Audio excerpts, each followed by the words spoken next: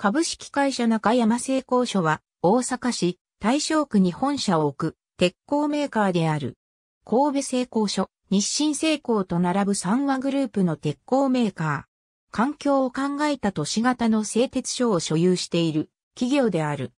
1919年に中山越次が個人経営で兵庫県山崎市で亜鉛鉄板製造業として創業したことが始まりとされる。1923年に株式会社中山越次商店として法人化し、現在の船町工場へ移転。1934年に現称号の株式会社中山製鋼所に改称した。1939年に航路を設置し、ズク港一貫製鉄所となる。戦前からの日本有数の航路メーカーであり、戦後は大小二部上場の尼崎製板を子会社として有していた。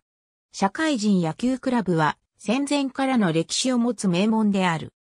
1940年には中山法音会を設立して教育援助をはじめ学校法人中山学園を設立した。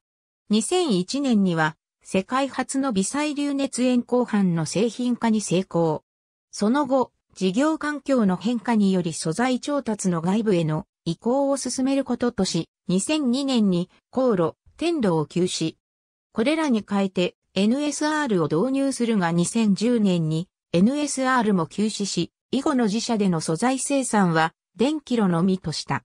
素材の不足分については、日本製鉄や神戸製鋼所から鋼片の供給を受けている。その後も2012年に厚板工場を休止するなどリストラを進めている。2013年2月、連結市会社であった南海科学の全株式を同社経営陣が設立した特別目的会社南海グローバルケミ株式会社に譲渡。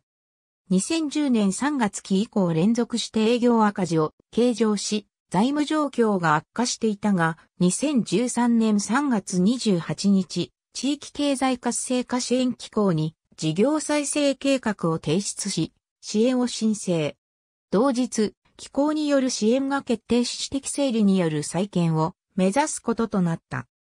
金融機関が債務総額の51%に相当する約602億円の債権放棄を行うこと、新日鉄住金、阪和工業、日鉄商事、エアウォーター、大阪ガス、大和パイパートナーズの6社に対し第三者割り当て、増資を行い、約90億円の資金調達を行うこと、連結し、会社5社を完全子会社化することとされている。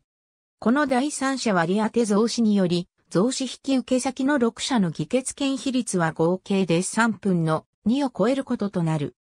同日、2013年3月期決算で多額の減損損失を計上し債務超過に陥ることを発表したが、2013年8月27日に事業再生計画に基づく債権放棄及び第三者割当増資が実施され債務超過は解消された。ほか、ありがとうございます。